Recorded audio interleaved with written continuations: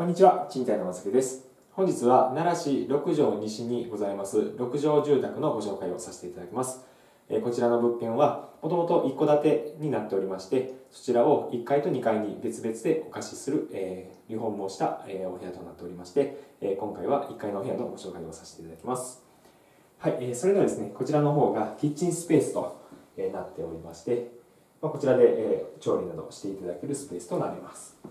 キッチンの方は、えー2口のコンロを置けるようになっておりまして、調理スペース、シンクの方広くなっております。また、えーキッチンのそばに窓がございまして、まあ、換気とかもバッチリですし、えーまた、えー明るく、え調理していただきますね。こちらの方は給湯器のリモコンございますので、温度変更をすぐにしていただきますので、非常に便利な機能がついております。はい、そしてキッチンのと別に、えー和室ですね、こちらの方が約6畳ほど、えございます。まあ、こちらの方で、えーお布団を引いていただいて、まあ、寝室としてお使いいただいたり、またあのくつろいでいただけるスペースとしてお使いいただけます。窓もですね、2箇所ございますので、非常に、日当たりのよく明るいお部屋となっております。またこちらの方にはですね、押し入れがございますので、まあ、お布団とかも十分に収納していただけます。あとエアコンですね、こちら1台備え付けとなっておりますので、まあ、夏冬快適に過ごしていただきますね。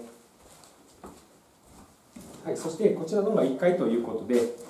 こちらの扉を開けますと、えー共用玄関がございます。えー2階の方はまた、えー別の方がお住まいいただくようになります。ですので、こちらの方はですね、えー専用の鍵を、えー使っていただいて、えー閉めていただけるようになっております。はい、こちらの方は収納スペースですね。その横には手洗いがございまして、えー洋式となっております。はい、最後にその奥ですね、こちらの方がバスルームになっておりまして、えーバスタブの方も途中で入れ替えておりますので、非常に清潔感のあるお風呂となっております。はい、えーこちらの方非常にですね、えー家賃の方もリーズナブルになっておりますので、詳しい条件は弊社ホームページをご覧ください。奈良のおもてなし奈良心、賃貸のまさきでは皆様のお部屋探しを全力でサポートさせていただきます。ご視聴ありがとうございました。